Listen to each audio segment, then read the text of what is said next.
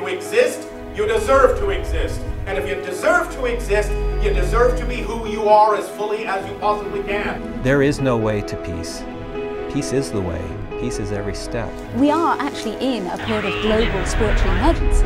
And I want to really stress that that's a, a positive thing. You are here for a reason to be yourself expressed in fullness and in love.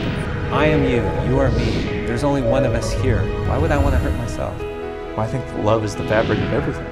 When I met you, there were probably 300 people, 200 people maybe in the audience in, the room, between yeah. that. Uh, and uh, a lot of them I know had not seen you before. Mm-hmm. And if I'd walked into that room knowing nothing about the backstory that you just said, mm-hmm. I would just say, you know, wow, this guy's a really deep guy and mm. he has some really great insights, you know, and that to me is what matters, you know, right. and, and that to me is, I think, what should matter for anyone. It's of like course. where the information comes from is irrelevant. If you're able to help someone in their life, yes. you know, um, that's to me the important. Yeah, as long as the information is positive and self-empowering, mm. not controlling, mm. or you know, or trying to, you know, preach some kind of dogma that's the only way to do things. Right. Quite the um, opposite, actually. Yeah. You know.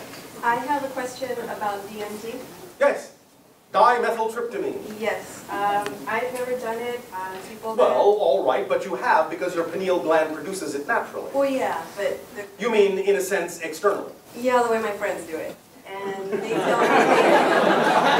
oh, all right, we understand. Yeah, and so um, they tell me they, you know, break through and they go to this place where there's beings that yes. you know where are they going? Like, where are those beings? Is there a dimension number? Everybody wants to be a dimension higher than the last guy that smoked it, you know? So Not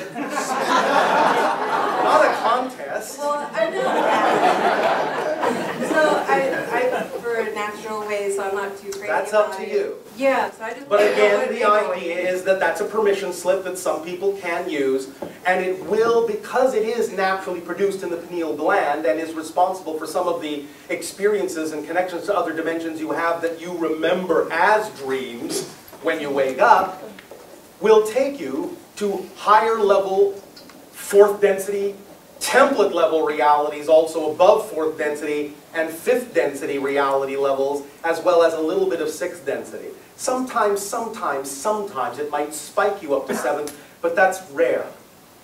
But mostly you hover in around the idea of the template level reality between fourth in that sense and third, and sometimes going up to fifth, in which is what we call the blueprint level, where all different kinds of things you experience in physical reality are laid out by your consciousness, laid out by your soul as templates, as blueprints to be experienced, to be manifested, to be crystallized in physical reality in your physical life. And other beings come and go in that level as well, because that's the level through which other beings, even such as ourselves, most often than not interact with your reality. We have to kind of go through your template level reality and go through your blueprints to be able to have some frame of reference in which to interact with you. Otherwise, we would be too alien to each other.